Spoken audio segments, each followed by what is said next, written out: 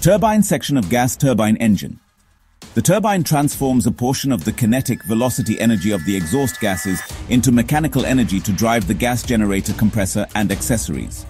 The sole purpose of the gas generator turbine is to absorb approximately 60 to 70% of the total pressure energy from the exhaust gases.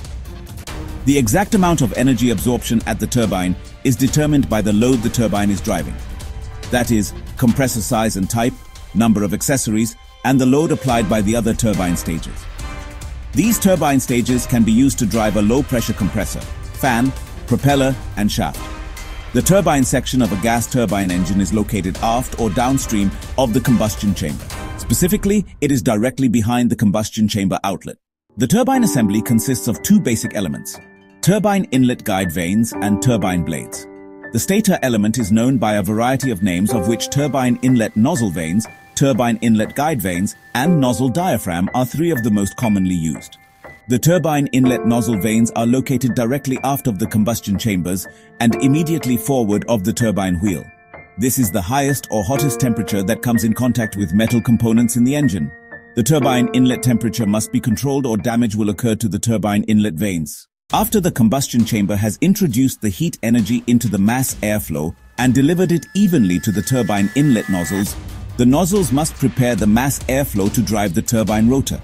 The stationary vanes of the turbine inlet nozzles are contoured and set at such an angle that they form a number of small nozzles discharging gas at extremely high speed.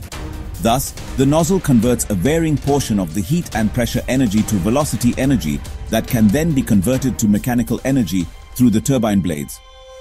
The second purpose of the turbine inlet nozzle is to deflect the gases to a specific angle in the direction of turbine wheel rotation.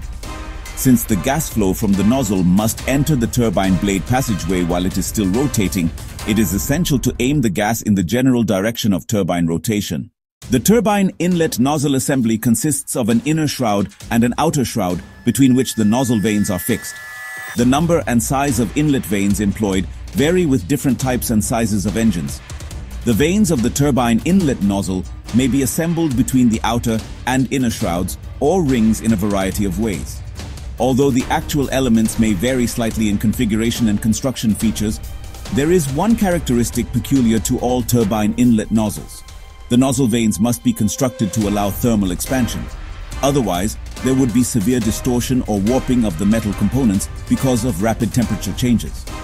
The thermal expansion of turbine nozzles is accomplished by one of several methods. One method necessitates loose assembly of the supporting inner and outer vane shrouds.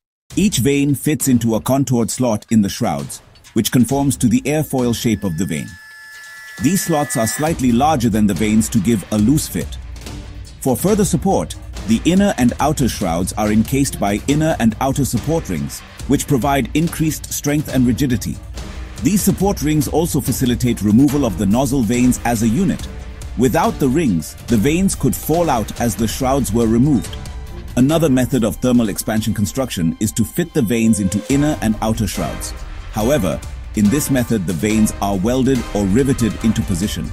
Some means must be provided to allow thermal expansion. Therefore, either the inner or the outer shroud ring is cut into segments.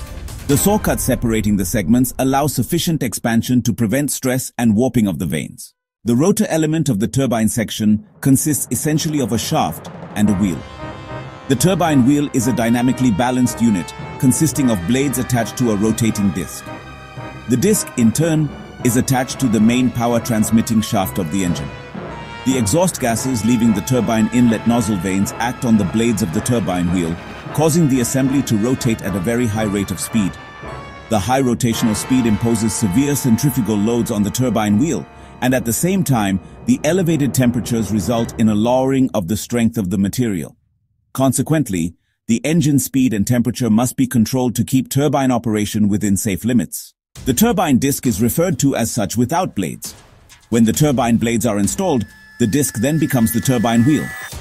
The disc acts as an anchoring component for the turbine blades. Since the disc is bolted or welded to the shaft, the blades can transmit to the rotor shaft the energy they extract from the exhaust gases.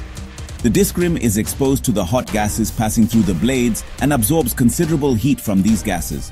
In addition, the rim also absorbs heat from the turbine blades by conduction. Hence, Disc rim temperatures are normally high and well above the temperatures of the more remote inner portion of the disc. As a result of these temperature gradients, thermal stresses are added to the rotational stresses. There are various methods to relieve, at least partially, the aforementioned stresses. One such method is to bleed cooling air back onto the face of the disc. Another method of relieving the thermal stresses of the disc is incidental to blade installation. A series of grooves or notches, conforming to the blade root design, are broached in the rim of the disc. These grooves allow attachment of the turbine blades to the disc. At the same time, space is provided by the notches for thermal expansion of the disc. Sufficient clearance exists between the blade root and the notch to permit movement of the turbine blade when the disc is cold. During engine operation, expansion of the disc decreases the clearance. This causes the blade root to fit tightly in the disc rim.